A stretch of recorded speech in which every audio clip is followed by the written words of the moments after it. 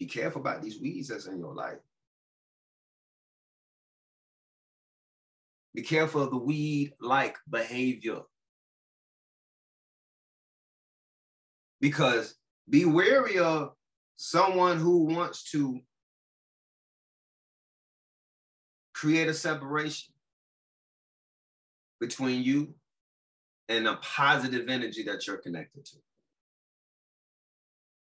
Beware of anyone that wants to create that uh, uh, or that attempts to create a separation between you and a, po- a positive energy that you are connected to. So there's gonna be some some raking you gonna have to do and some and some weeding you gonna have to do. It's gonna be some intentional planning you're gonna have to do so that you can manage your time better, your days better. But after you do that work, after you write out that schedule, after you work in your garden, get like uh what was her name? Jody's mother and baby boy.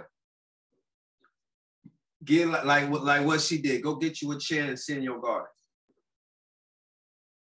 Have a vibe in your garden. Go get you go get you whatever you like to drink, whatever you like to eat. Have a vibe in your garden. Matter of fact, you shit while you're at it, start a bonfire. Cause you got some shit that need to be thrown away, don't you? You got you got some things that need to not exist anymore, don't you?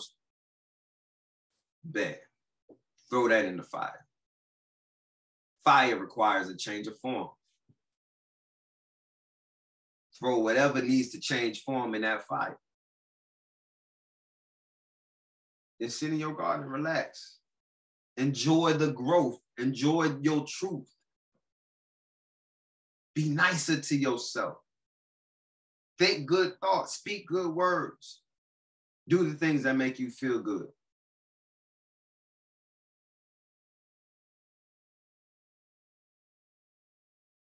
Greater shall you do. Greater shall you be. And today is the day, and this is the moment where not only do you see it, but you believe it.